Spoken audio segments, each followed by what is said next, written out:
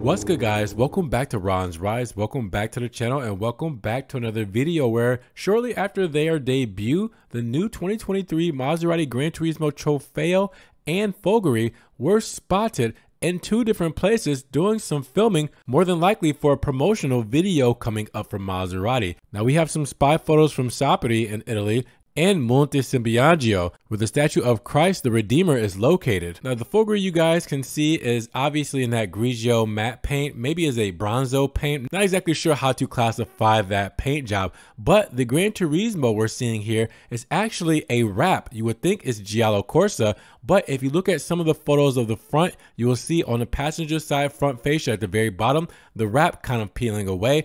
There's also been photos of David Beckham testing in this same car with half of the wrap on and half of it off for more promotional videos. I'm assuming that they're going to get those videos from that shoot of him in the interior with an expansion of some of the exterior, which is why it was only halfway wrapped. And these are going to be for the full exterior shots of the cars driving on the road. Now in Sapri, it was there for two days with the three models, the Modena, the Trofeo, and also the Folgore, but we do not have any pictures of the Modena on set. And as you guys can see, the camera car was a blacked out Mercedes. Huh? Very interesting and ironic that the Mercedes would be filming the Maserati promo video, where in some instances there is a blacked out Stelvio Quadrifoglio, like we saw filming the 296 GTB and GTS earlier this year during Formula One. But Maserati decided to use a Mercedes, and if you're wondering why it's all matte black, especially the logos and lighting units, which would normally just be regular colored, well, it's to help the reflection from the car actually showing up in the promotional video's reflection.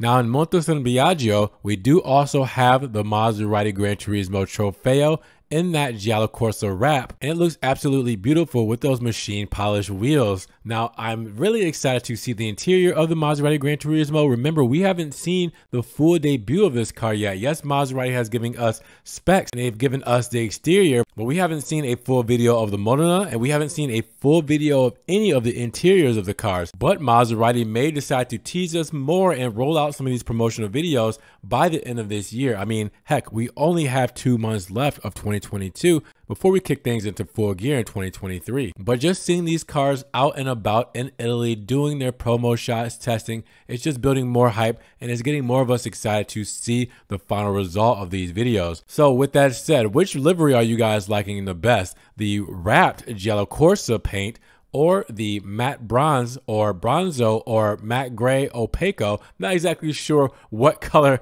we're looking at for the Folgore, but which one are you guys taking between the two?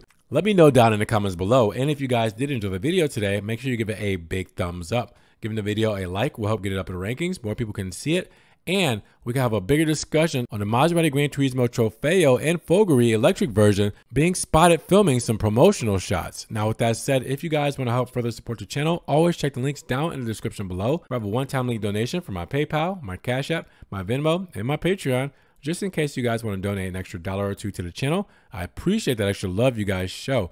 Thank you so much. You guys can also check out the Ron's Rides merch in case you guys want hoodies, long sleeve shirts, stickers, everything Ron's Rides is there. And I'm also on TikTok, Facebook, Instagram, Snapchat, Twitter. See everything I'm posting. Ferrari, Maserati, Alfa Romeo, and Fiat that doesn't always make it here to the channel. Now make sure you guys subscribe to the channel, but click the notification bell so you don't miss one video. And with that said, you guys be blessed, have a great day, and we will talk to you guys in the next Ron's Rides video.